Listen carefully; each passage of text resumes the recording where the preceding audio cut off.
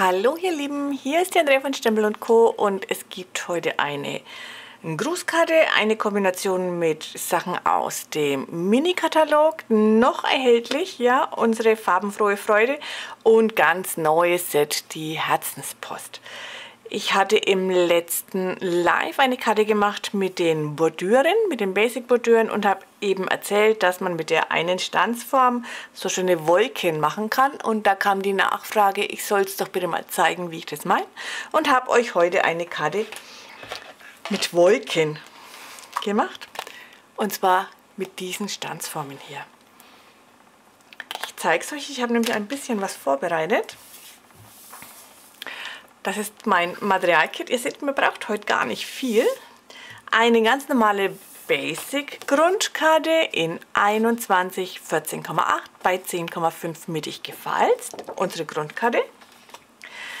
Einen Aufleger, auf die wir das Ganze dann aufsetzen, unsere Wolken und unsere Dekoration, hat die Maße von 10 cm mal 14,3. Also ich habe 5 mm abgezogen zur Grundkarte hin. Und hier habe ich Reststreifen genommen. Ja, verschiedene Höhen, einfach was man so im, unser, in seinem Restbox, je nachdem, wo ihr es aufbewahrt habt. Und habe mir hier mit der Stanzform die Wolken ausgestanzt. Ja? Ihr legt sie euch einfach ein bisschen verschieden. So haben wir verschiedene Anordnungen und die kommen jetzt dann auf unsere Karte. Also ihr seht, das sind auch verschiedene Höhen, aber die kann man schön so übereinander stapeln, dass es uns einfach gefällt und passt. Und wie das funktioniert, zeige ich euch. Bedeutet, wir holen unseren Aufleger und unsere Wolken, die wir ausgekurbelt haben. Und jetzt kommt es wirklich darauf an, wie ihr die legen wollt. Das wird einfach ein bisschen ausgetestet, wie es uns gefällt. Die haben 10 cm, sind die gleich zugeschnitten und dann können wir sie so legen, wie wir wollen. Wenn ihr die dann in der richtigen Anordnung habt, ich glaube, ich lege fast die drüber, genau, dann kleben wir auf. Und aufkleben tun wir folgendermaßen. Durch dass wir es ja immer verschieden anordnen wollen, nehmen wir das kleinste zuerst, was unten hinkommt. Und hier wird nur Kleber, nehmt Flüssigkleber, könnt ihr noch ein bisschen schieben an der Unterkante aufgebracht. Die legen wir uns jetzt bündig auf und kleben sie uns an. Flüssigkleber, weil wir eben noch ein bisschen hin und her bewegen können. Schaut, dass es hier bündig ist und die Seiten natürlich auch. Einfach passend schieben. Und dann haben wir schon die erste Reihe aufgeklebt kommt die zweite Reihe und hier machen wir es genauso. Auch nur am unteren Rand. Dann holt ihr, nehmt es euch in die Hand und wenn er so absteht, knickt, könnt ihr es schön dahinter schieben. Und jetzt müsst ihr gucken, dass ihr rechts und links natürlich gleich seid. Und jetzt schiebt es euch so weit, wie es nach unten geht, ja? So. Oder so weit, wie es ihr eben haben wollt. Sagen wir mal so. Und jetzt kommt unser letztes. Auch hier unten. Und hier können wir aber gleich rechts und links auch noch ein bisschen machen. Mehr noch nicht. Alles andere kann man später, wenn er braucht, aber braucht er eigentlich nicht. Und jetzt gleiches Spiel. Wir knicken es uns weg, legen es uns an, am besten passend nicht so wie bei mir. Das heißt, ich habe gekleckert. Ich nehme es gleich nochmal mit weg.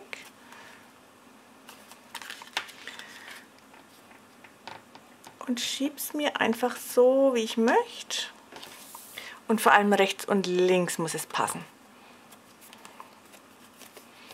Und wenn man natürlich schon mal abgelegt hat, ist das blöd zum Schieben.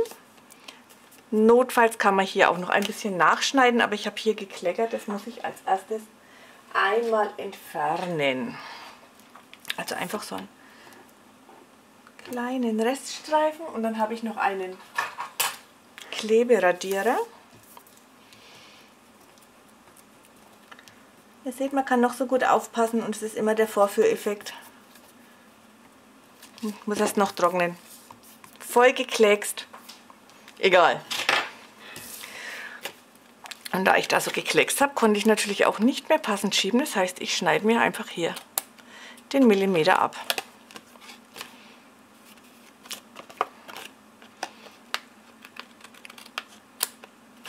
Genau. Und ihr seht, es passiert auch mir. Ja, keiner ist perfekt. Ich hätte das Video nochmal neu starten können, aber nein, ihr sollt ruhig sehen, dass es auch mir immer mal wieder passiert. So, jetzt kommt später natürlich unsere Herzenspost passend. Das äh, setzen wir uns auf, wo wir wollen. Aber als allererstes müssen wir uns, uns um den Regenbogen kümmern. Den habe ich hier in verschiedenen Gelbtönen ausgestanzt und hier in verschiedenen Rosatönen. So, und den möchte ich natürlich hier haben. Und durch dem, dass wir nicht angeklebt haben, können wir schön drunter schieben, wo man es gerade braucht. Und jetzt versuche ich natürlich erstmal anzulegen, ob es mir auch gefällt, bevor ich klebe. Sucht euch den passenden Platz. Und ich sehe gerade, ich habe da oben gekleckst. Vielleicht kann ich das noch ein bisschen ausbügeln, indem ich da den Regenbogen drüber gehen lasse. Schaffe ich nicht. Ein bisschen vielleicht. Aber da muss ich gucken, ob es passt. Das wird eng. Nee, das radiere ich mir später wieder ab. Das heißt, ich fange beim Kleinen an. Es passt mir so hier unten. Ich nehme es raus. Und arbeite hier auch mit Flüssigkleber. Aber wirklich nur so punktuell.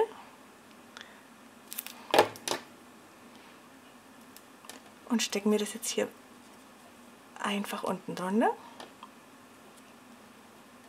und drücke es mir an. Das mache ich jetzt, bis der ganze Regenbogen klebt.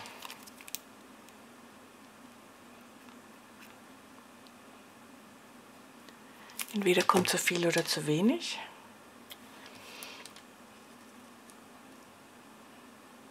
Drunter schieben, festhalten, andrücken.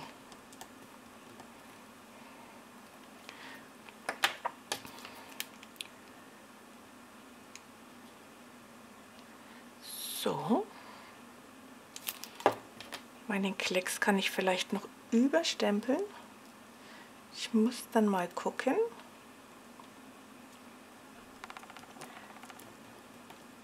Und immer gleich wieder andrücken. Und ein letztes, und hier seht ihr, habe ich das Ganze aus Designpapier ausgestanzt.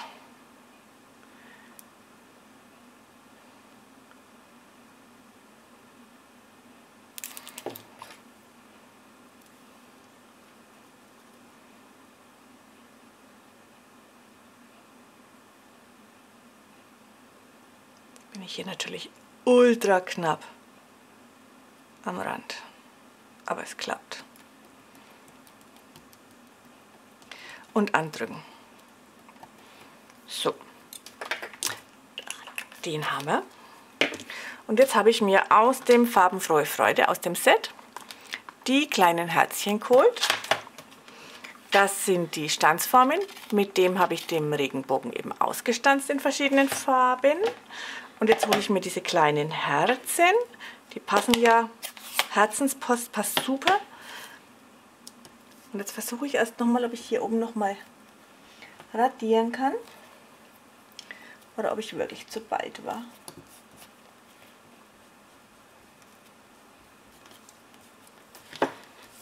Stempel ich jetzt ein Herzchen drüber, in der Hoffnung, dass es dann besser ist. So, ich habe jetzt hier mir Wassermelone ausgesucht und setze hier jetzt einfach nur ein paar Herzchen auf. Ganz vorsichtig, es ist schließlich alles schon geklebt, dass wir hier keinen Unfall haben.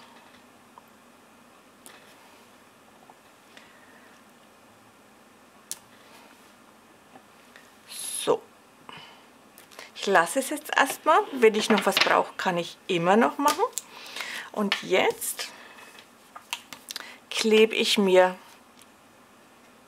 hier zum Beispiel noch ein bisschen an. Ja, einfach hochheben und nur punktuell ein bisschen Flüssigkleber, weil wir haben ja die Seiten noch nicht geklebt.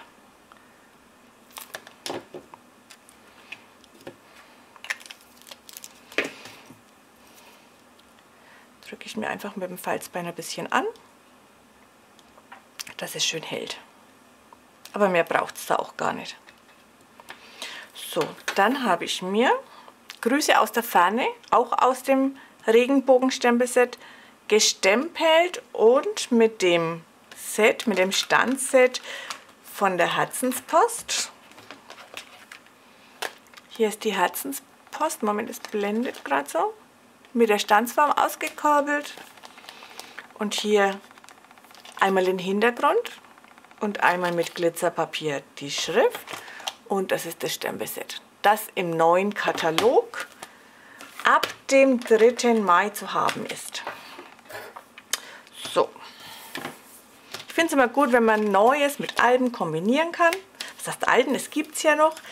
Der Regenbogen ist ja noch bis Juni, also im Juni noch erhältlich aus dem Mini-Katalog. Also hier schnell zuschlagen, wenn ihr ihn noch nicht habt, weil man einfach das Set für ganz viele verschiedene Projekte verwenden kann. So, hier diesen schmalen Spruch klebe ich mir auf der Menschen aufgeklebt hier unten an. Und auch die Herzenspost nehme ich die Mini Dimensionals und klebe die mir hier hinten auf. Drei Stück reichen. Kommen oben drauf. Aufpassen, dass es richtig rum ist. Das wäre es jetzt noch gewesen. So.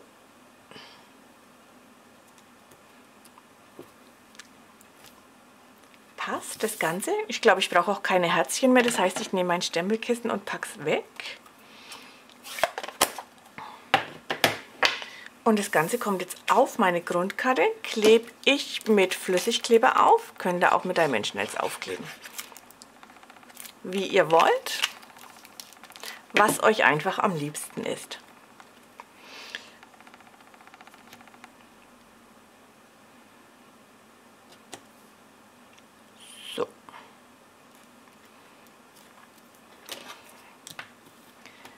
Aufkleben, andrücken und dann einfach die Grundkarte noch falzen. Falz haben wir ja schon vorgezogen. Das heißt, ich knicke sie mir einfach und falz mir das Ganze nach.